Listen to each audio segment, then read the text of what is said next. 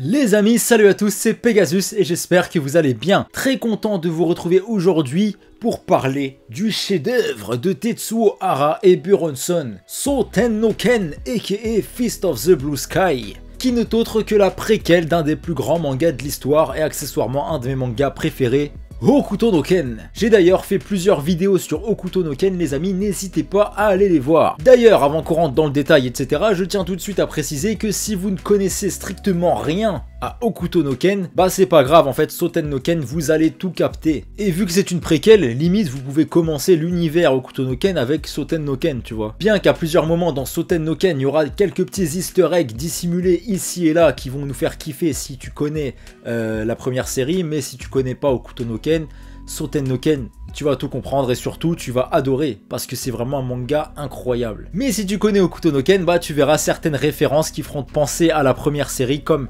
euh, certains personnages qui te rappelleront certains personnages de la première série, certaines, certaines relations aussi entre les personnages, et surtout la fameuse phrase tu ne le sais pas encore mais tu es déjà mort, sauf que ici Kenshiro la dira en chinois et c'est trop stylé. C'est en 2001 que Soten no Ken fera son apparition dans le Weekly Coming Bunch. Chez nous, le manga a d'abord été publié chez Panini Manga, puis en 2021 chez Mangetsu dans une édition splendide. Oh oui Soten no Ken a également le droit à deux adaptations animées, une en 2006 et un remaster en full CGI en 2018. Alors les amis, je tiens à vous prévenir, dans cette vidéo, on va surtout parler du manga et pas trop des animés, parce que les animés, je vais pas vous mytho, ils sont pas ouf, ils sont pas ouf, et ils rendent pas suffisamment hommage au manga qui pour le coup lui est vraiment magnifique, là où les deux versions animées au final sont pas à la hauteur pour moi, bien que, il faut le souligner quand même, c'est que les deux versions animées, elles ont des openings légendaire. Et personnellement, mon animé préféré de Soten no Ken, ça reste celui de 2018, donc la version full CGI. Version full CGI donc qui est vraiment très très belle, ça veut dire quand tu vois les images, c'est très très beau. Mais au niveau de l'animation, c'est extrêmement lent, ça veut dire que c'est très saccadé, tu vois les mecs ils bougent comme ça et tout, et tu sens que c'était un peu les débuts des animations en full CGI, tu vois. Euh, et que c'est vraiment trop lent en fait, c'est vraiment trop saccadé, même si c'est très beau, ça reste les mouvements me dérangent un peu, même si certains combats, pour le coup, par contre, sont vraiment très beaux. La musique, etc. est bien, mais quand même, je trouve que c'est pas à la hauteur de Soten no Ken. Tu vois, ils auraient dû nous faire un truc comme ils ont fait pour Okuto no Ken avec les films Okuto no Ken qu'ils avaient fait derrière, où ils avaient fait une animation de fou et tout. Euh, ça aurait été bien que pour Soten no Ken, il y ait ce niveau-là, tu vois, tout simplement. Mais bon, c'est pas grave, au moins le manga, lui, est là, et le manga est incroyable. Manga Soten no Ken, donc, qui est vraiment magnifique, tant sur son ambiance, son scénario, et surtout ses dessins. Car oui, je vous le dis direct, c'est totalement subjectif bien sûr, mais selon moi, aucun manga au monde est plus beau que Soten no Ken graphiquement. Je connais aucun manga avec des dessins aussi beaux. Et je le dis toujours, hein, mais Tetsuo Hara est pour moi le mangaka avec la plus belle plume. Et ce qui est d'autant plus fou en fait, c'est que Tetsuo Hara, il a un problème à l'œil, ce qui l'empêche en fait euh, de bien distinguer ses perspectives, etc. etc. Ce qui fait qu'en fait, quand Tetsuhara euh, dessine ou dessinait, etc., bah, il devait souvent dessiner, recommencer, recommencer, recommencer, recommencer, parce qu'il y avait toujours quelque chose qui allait pas, tu vois, à cause de son, problème de vue. Et en fait, je pense que cet handicap, l'handicap qu'il a, ça a aussi été une force pour lui, c'est ce qui lui a permis de, euh, bah, force de travailler au final plus que les autres, bah, il a obtenu ce style de dessin particulier qui est vraiment pour moi le plus beau du monde et aucun mangaka au monde ne dessine mieux que lui aujourd'hui et euh, justement c'est cet handicap je pense qu'il a, rendu plus fort tout simplement. Enfin bref les amis, avant qu'on rentre dans le détail déjà, Soten no Ken, de quoi ça parle? Le manga s'ouvre sur la naissance de Kenshiro, celui qu'on connaît dans Hokuto no Ken donc, et son père lui racontera donc la vie de son frère ancien hérité du Hokuto Shinken, qui s'appelait aussi Kenshiro. Ce manga est donc l'occasion pour nous de découvrir l'histoire du précédent héritier du Hokuto, qui est donc un sosie du Kenshiro que l'on connaît dans la première série. Ce qui peut être vu comme une incohérence, certes, parce que le Kenshiro de la première série, en fait, est le fils adoptif de Ryuken. Donc, le fait qu'il ressemble à son oncle, bah c'est chelou, tu vois. Mais après, il y a aussi cette symbolique de les héritiers du Hokuto euh, se ressemblent beaucoup, comme si c'était un peu le délire où chaque héritier du Hokuto est un peu la réincarnation de l'héritier précédent, etc. Sauf que le Kenshiro qui nous est présenté dans Soten no Ken, en dehors du physique, n'a strictement rien à voir avec le Kenshiro qu'on a connu dans la première série. Leurs personnalités sont vraiment très très différentes et le seul truc qui les rapproche en fait c'est leur gentillesse. Soten no Ken se déroule donc deux générations avant Hokuto no Ken. Ici, pas de décor post-apocalyptique, non, l'histoire nous plonge dans le Shanghai des années 30 ce qui fait que dans le manga, des personnages ayant réellement existé feront leur apparition. De plus, on entendra parler ci et là de ce qui peut se passer en même temps en Europe, comme par exemple la montée du nazisme, les dictateurs de l'époque y sont évoqués comme Staline, Mussolini, etc. etc. Et dans ce Shanghai des années 30, on y retrouve de tout. Des Français, des Japonais, des Chinois, des Anglais, des Allemands, etc. etc.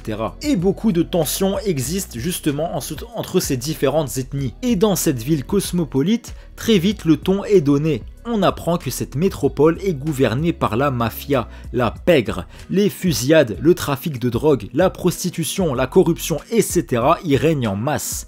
Bref, Shanghai a définitivement sombré dans le chaos, et la ville est principalement le théâtre d'affrontements entre deux gangs, le syndicat de Jade et l'union du pavot sanglant. Et c'est ça qui est ouf les amis, c'est qu'en fait Soten no Ken, c'est pas spécialement un manga d'arts martiaux, c'est un manga de mafia, de gang. Et au milieu de tout ce bordel de gangsters, etc., on fera la rencontre de personnages qui maîtrisent les arts martiaux et qui se battent en fait avec leurs poings, là où leurs adversaires peuvent utiliser des flingues, etc. etc. Cependant, malgré la différence d'époque entre Okuto no Ken et Soten no Ken, on est toujours mis face à l'injustice et à l'oppression des plus faibles par des puissants qui sont très égoïstes et mal intentionnés. Et au milieu de ça, donc, on a Kenshiro qui fera régner la justice par la force de ses poings. Mais malgré un sens de la justice très prononcé et une force hors du commun, Kenshiro garde un côté très humain, ça veut dire que le mec il va au restaurant, il lit, il fume, peut provoquer ou se moquer de ses ennemis, mais également rire ou pleurer avec ses amis. Ici, le Kenshiro, en fait, il est grave farceur et surtout, il est super drôle. En fait, on le voit dans la vie de tous les jours, le mec. Contrairement, encore une fois, au Kenshiro de la première série, qui lui est extrêmement froid, extrêmement... Il sourit jamais, je crois qu'on le voit rarement, jamais sourire, Kenshiro, ou très rarement. Euh, dans la première série, là où dans Soten no le gars il est trop con, il est trop drôle en fait. Il fait que se taper des barres. Après, c'est sûrement le contexte qui veut ça aussi, parce que dans Okuto no Ken, on est dans un monde, pardon, post-apocalyptique où il n'y a plus rien sur Terre, c'est la misère, c'est voilà, c'est voilà, c'est chaud de ouf. Là où dans Soten no Ken, c'est un gars en fait qui fait sa vie. Ça veut dire qu'il a, ok, a ses embrouilles, ses histoires à régler, etc. Mais le gars peut aller au resto, il fume des clopes, il se tape des barres, il va même des p donc on a donc ce Kenshiro là et le Kenshiro de la première série qui est un gars qui a tout perdu, qui vit dans un monde post-apocalyptique et peut-être on peut se poser la question que si le Kenshiro de Kutonoken vivait dans un monde entre guillemets plus normal, est-ce qu'il ressemblerait pas au Kenshiro qui nous est présenté dans Soten no Ken? On saura jamais. Toutefois, les deux ont un autre point commun, et pas des moindres, un sens de la punchline incroyable.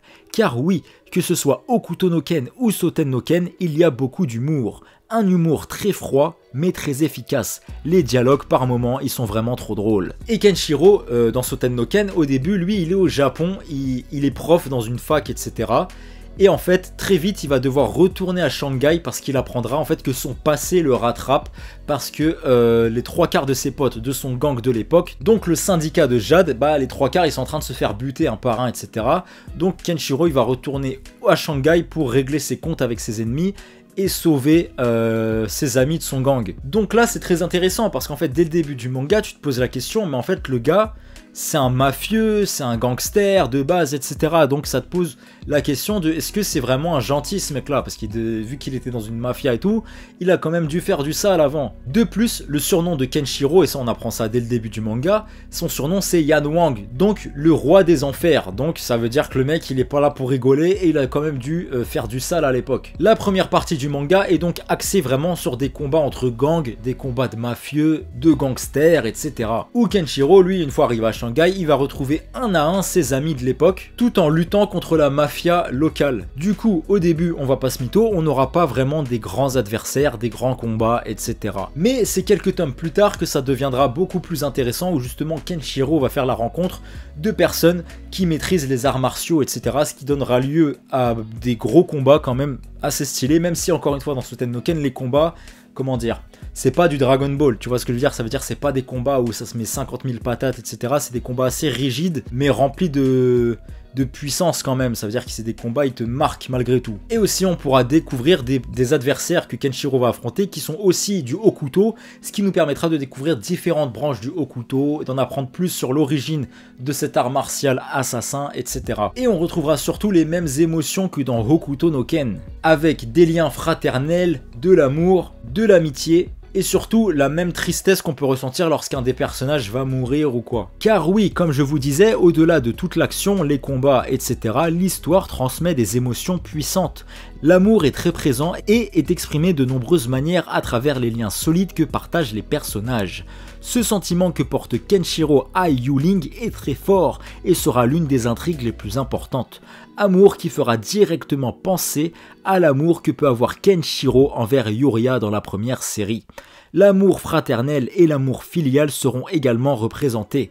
Ce sont certes des gangsters, des mafieux, etc., mais ils ont néanmoins des valeurs, ce n'est pas juste un clan, c'est une famille. Enfin voilà les amis, c'était tout pour cette petite vidéo sur Soten no Ken. N'hésitez pas à me dire en commentaire ce que vous vous pensez de cette œuvre et si vous ne la connaissez pas, franchement, foncez.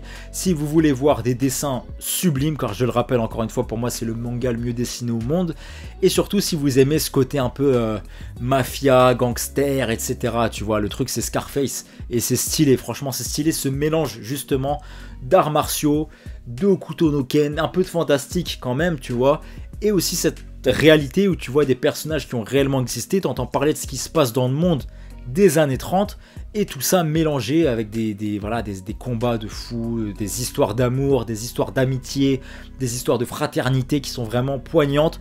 Et voilà c'est vraiment un très très beau manga que je trouve très complet mine de rien. On y retrouve tout, on y retrouve tout, enfin tout ce que j'aime en tout cas dedans.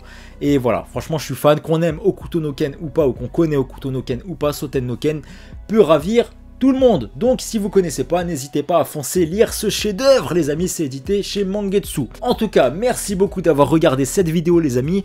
N'hésitez pas à me dire en commentaire ce que vous pensez de Soten no Ken et quant à nous, on se retrouve très rapidement sur la chaîne comme d'habitude pour plein d'autres vidéos manga, animés, etc. Donc restez branchés. En tout cas, d'ici là les amis, surtout prenez soin de vous. À très vite. Salut